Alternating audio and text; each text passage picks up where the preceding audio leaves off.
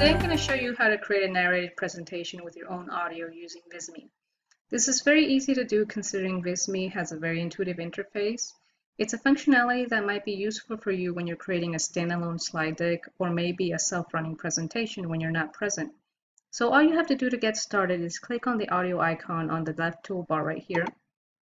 And then you see many different free audio files available for you right within Visme. So all you have to do is click on this button to listen to each of them and select the one that fits your needs. So let's say I want to add this one, for example. All I have to do is click on this button and then I click on attach. Or if I change my mind, I can click on detach.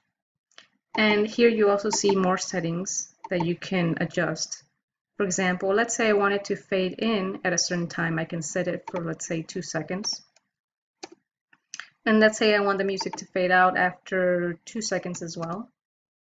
Or let's say I want it to start at a certain time. I can also set that here at three seconds. I can also adjust the volume. I can make it lower or louder.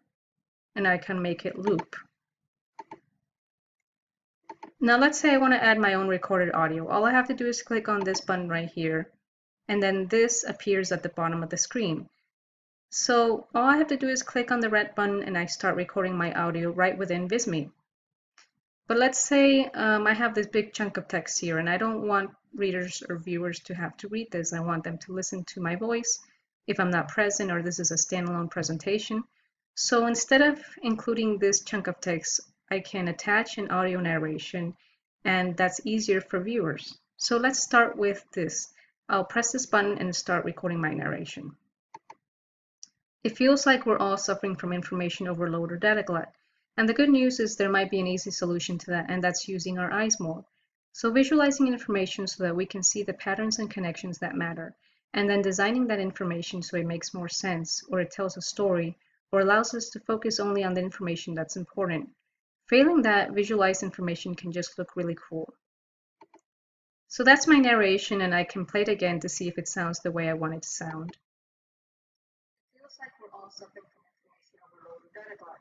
And the good news is there might be an easy solution to that, and that's using our more. So it seems like it works. All I have to do now is press this button to attach it to my slide.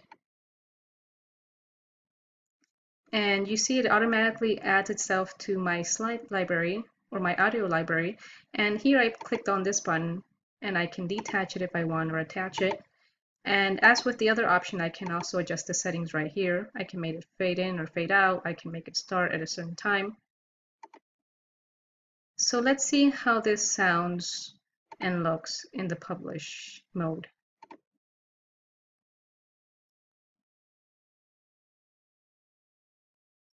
feels like we're all suffering from information overload and data. And the good news is there might be an easy solution to that, and that's using our eyes more. So visualizing information so. So here you see my slide with my narration. So instead of using this paragraph, like I said, I can just do away with this, delete this paragraph, and all viewers have to do is look at the images and hear my narration.